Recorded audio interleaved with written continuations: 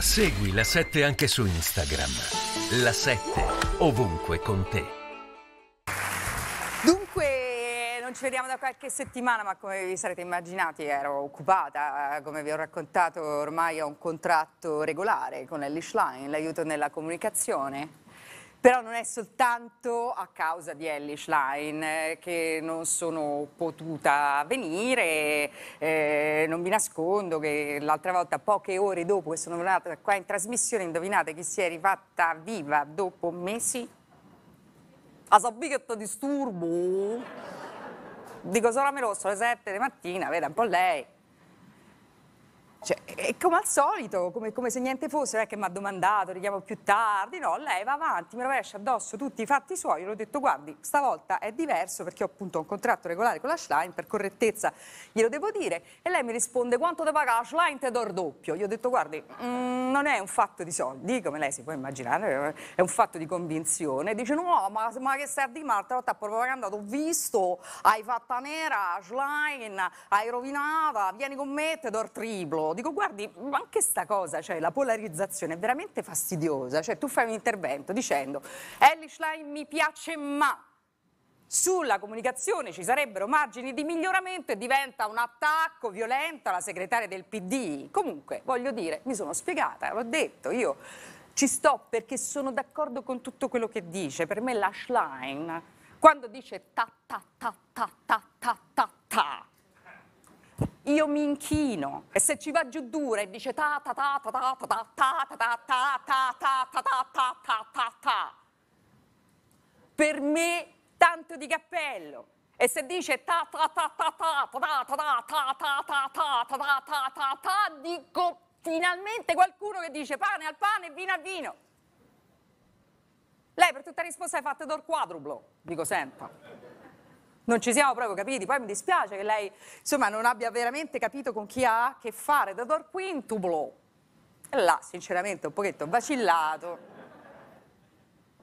Ho detto, guardi, eh, mi faccia prendere un caffè se ne vuole parlare. Eh, ho preso tempo, effettivamente ho vissuto un brutto quarto d'ora di forte dissidio interiore e in cui da una parte mi dicevo tutti questi soldi ti ci compri una casa al mare, dall'altra mi dicevo ma che sei matta e corruzione, però il progetto parlare coi fasci ha portato tanti risultati politici che insomma sono serviti a tutti, però dicevo ma no sei pazza, perdere tutta la tua indipendenza, insomma alla fine finalmente però ho deciso e ho fatto quello che qualsiasi persona veramente di sinistra avrebbe fatto, cioè tu Maccox non ci saresti arrivato secondo Mai. me. Lavora Ho- gratis mai. Esatto, ho detto lo faccio, ma lo faccio gratis, grazie. è- è- È inutile che ridi perché comunque eh, il mio tornaconto innanzitutto ce l'ho, cioè non è una cosa questione di autolesionismo, tu non puoi capire, è questioni etiche. Io il mio tornaconto ce l'ho perché appunto, eh, come, come già vi ho detto, ho intenzione di farmi aiutare per fare, per fare un film e poi comunque io nel dialogo ci credo, per me appunto, se Giorgia una mattina si svegliasse, si ponesse un, un interrogativo tipo ma io chi sono? E soprattutto chi è sto Gianbruno? Per me sarebbe una grandissima soddisfazione qualcuno forse di voi già ci sarà arrivato. Ovviamente se ha lasciato Gianbruno il merito è mio. Ce lo siamo tolti dai piedi, non è poco. Perché lei all'inizio non lo voleva lasciare. Diceva no, fammi finire sto mandato, poi vedi come c'è un anno. Gli ho detto il mandato sono altri quattro anni, Presidente. Lei ambisce a diventare una statista, può stare con uno che appunto si mette la mano sul pacco, con la stessa mano ci prova con la collega in diretta. E lei era per la figlia, chiaramente, poi c'era sto spot in testa, non mi posso vedere mi fia con la pesca a mano. Gli ho detto,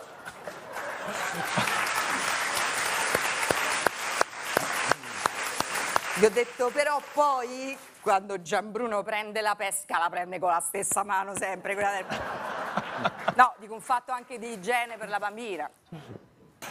E insomma, piano piano si è ammorbidita, però devo dire, mi ha investito con una valanga di chiacchiere che mi hanno abbastanza stordita. Ah, te non sai quanto è falso, quanto è buciardo, pensa che questo all'inizio, per corteggiarmi, ha fatto finta che era di sinistra. Dico, mm, mi faccia capire per quale motivo avrebbe dovuto far finta, perché lo sanno tutti, 30 fratelli d'Italia, che io dentro casa cioè preferisco quello di sinistra solo dentro casa, eh, perché effettivamente sono più educati, sono più puliti, collaborano, ti danno la mano a sparecchiare. Dico perché il fascio contemporaneo ancora cioè, neanche fa il gesto dico, di sparecchiare, no ma che scherzi, no! Ma il fascio non salserebbe mai! Ma ti dico che Lollo Brigida non si è alzato da tavola neanche quando mia sorella è scivolata sotto all'occhio! Questo ha fatto proprio un po', è quello impossibile! Lo segno, sto Lollo Brigida, è il prossimo.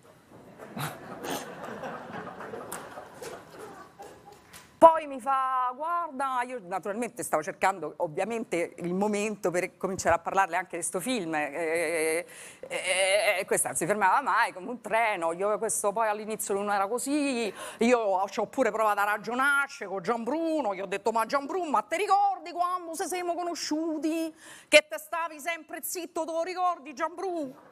Ma tu ricordi che pure l'anni dopo sei rimasto sempre zaghitto, te lo ricordi Gianbru? Ma ti ricordi quanto era bello Gianbru? Ma perché non te stai zitto? Niente, me devo realizzare pure io. Ma dico proprio adesso te devi realizzare. Ma non vedi che sto a fare Presidente del Consiglio? Non vedi che ho fatto tutta finanziaria buffo? Niente, c'è stato perso di, di, di, di, provare a inserirsi su queste altre cose, questa sempre disperata, adesso mi toccherà cambiare pure lo slogan, io sono Giorgia. Dico, beh sì, effettivamente, forse alla luce dei fatti è un po' obsoleto. Io sono Giorgia, lo posso dire, fammo in spagnolo, io sono Giorgia, ok, no, vale, è meglio. Soy madre, vero, il, come si chiama, il padre, l'ho ecciato di casa con pedata la gola, dico, adesso ci pensi un attimo lo slogan, poi con la complessità, eccetera, ma comunque sono sicura che le verrà. E come al solito lei a un certo punto, dopo 25 minuti che praticamente parlava solo lei, mi fa adesso c'ho da fare, ciao ti richiamo io, le ho detto no, guardi, non funziona così, il dialogo è fatto anche di ascolto, adesso sarebbe carino se lei ascoltasse anche un po' quello che ho da dire io, lei si è sentita in contropiede, ma ho detto certo, che dice? Ho detto la cosa, appunto, ho fatto la domanda al Ministero per avere l'interesse culturale, dico non me lo danno mai, se ci mette la parola buona lei sono sicura che questo interesse culturale ce lo trovano dimmi che si tratta del film, mi sono messa a parlare del film, ho detto guarda, con estrema sintesi, giuro, ho detto praticamente è una, un progetto che fa un pochino l'occhiolino a certo cinema sudcoreano, in cui praticamente una commedia che nell'ultimo atto si trasforma in un horror, un po' anche una metafora di quello che sta vivendo l'Occidente in questo momento. Dico che ne pensa? Non risponde nessuno, non mi accorgo che mi ha attaccato il telefono? Cioè per una volta che mi devi ascoltare a me un minuto, attacchi senza nemmeno salutare, una maleducazione, io credo, sconfinata. Veramente ero indignata. Sarà pure una maleducazione identitaria, ma dico io con questa non ci voglio avere più niente a che fare. Per fortuna, qualche minuto dopo, mi ha chiamato Ellie Schlein e devo dire un altro mondo. Ho ripreso a respirare, ho fatto un discorso anche tanto bello, mi ha detto ta ta ta